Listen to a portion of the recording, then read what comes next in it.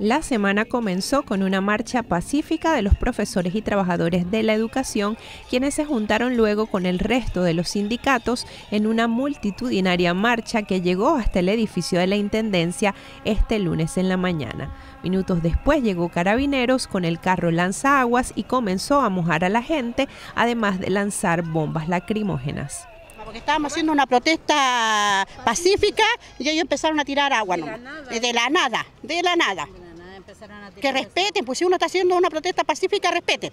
Como ellos también quieren que lo respeten, que respeten también a la, a la gente. Sí, habíamos adulto mayor, niños, pues. Habían bebés. Claro, pues. Y una marcha estaba pacífica, si de la nada empezaron ellos a tirar.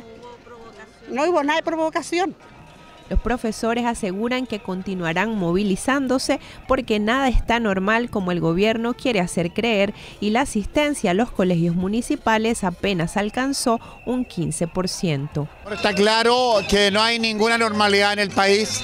La gente sigue reclamando por los derechos eh, conculcados durante tantos años y todas las señales que ha dado el gobierno, ninguna ha satisfacido la demanda. Y basta, basta, ver, basta ver aquí mismo hoy día los profesores junto con los estudiantes se están manifestando. Al parecer el gobierno no está escuchando nada. El clamor de la ciudadanía que reclama asamblea constituyente para una nueva constitución. ¿Por qué una nueva constitución si eran otras las peticiones?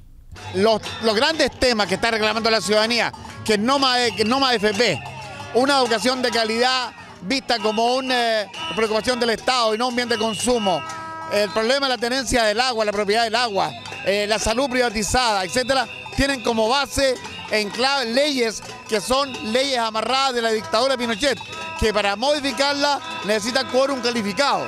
Significa leyes que para modificarla necesita dos tercios. Por ejemplo, hoy día la Cámara de Diputados tiene 150. Necesitaría 100 diputados para modificar una ley los profesores han realizado cabildos para levantar propuestas. La situación no pueden decirnos que estamos en normalidad porque no lo estamos y eso es lo que le estamos demostrando al gobierno regional que todavía no se ha puesto los pantalones y ha dicho suspensión de clases. La irregularidad es muy grande.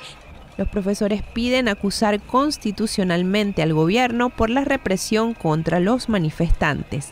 La idea es conversar y ver qué propuesta tenemos. La primera es la